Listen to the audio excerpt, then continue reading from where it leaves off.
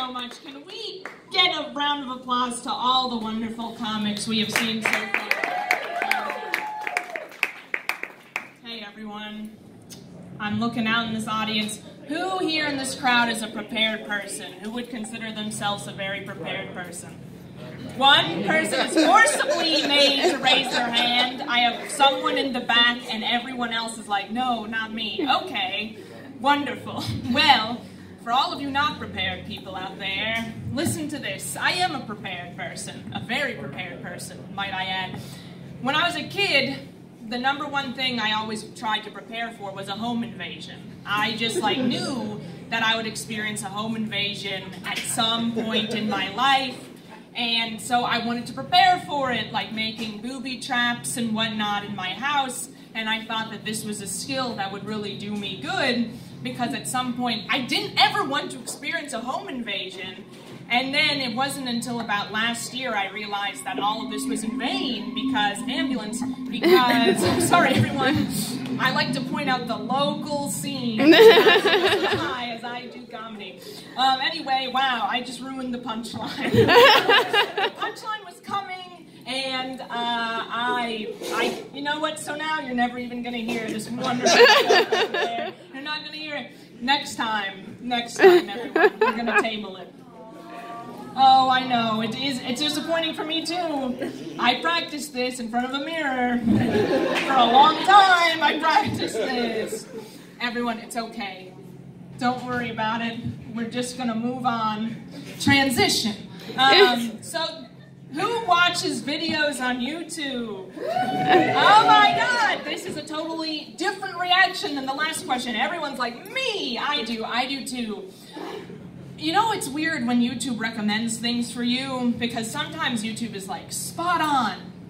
And the other times you're like, how, why am I being recommended this? This doesn't make sense.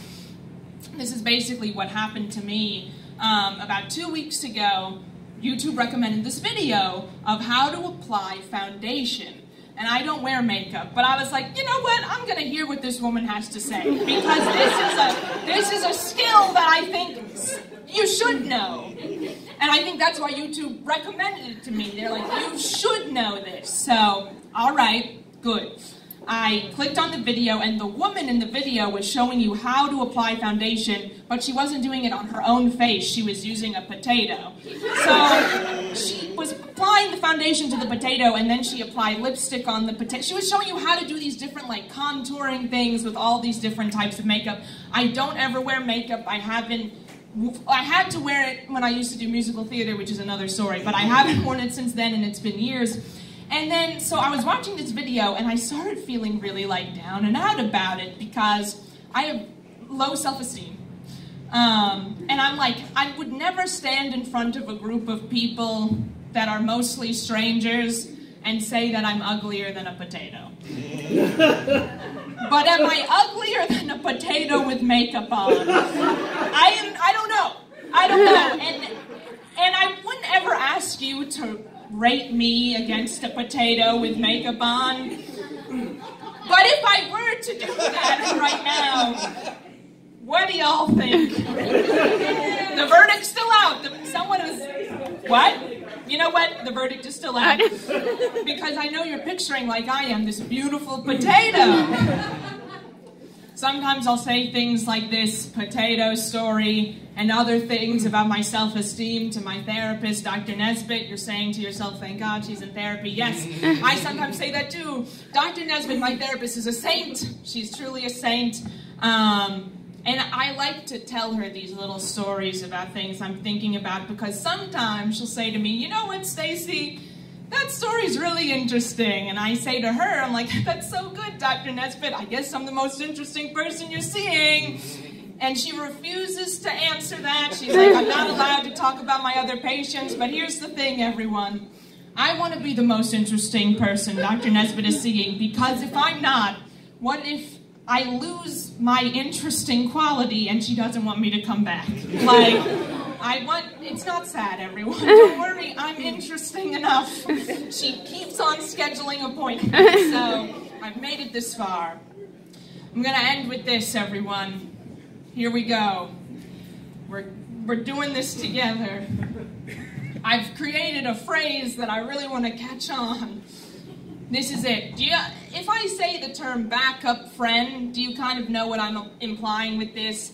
A backup friend is something, you may be a backup friend that when a friend of yours who actually has a best friend, they're fighting with their best friend or their best friend's out of town, they'll hit you up and they're like, hey, do you want to get drinks? And you know you're really only being contacted because there's a schism going on with their real friend. That's a backup friend.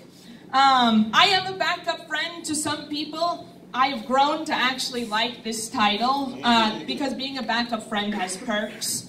Uh, one of those perks is the gossip. You get a lot of really good gossip when you're a backup friend, um, particularly about the person who's not there because they're otherwise away. And I think what I'm trying to say with all of this that you've just listened to I think if I could summarize it into a point and really deliver that point to you all right now in some anecdote that you could take with you after the show is it's coming everyone and this is what it is everyone listen to me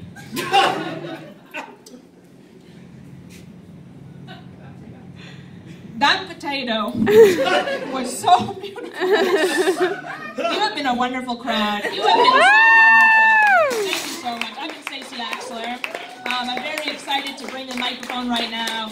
Um, someone who is uh, great. So enjoy. Please give a hand for Walter Gottlieb, everyone.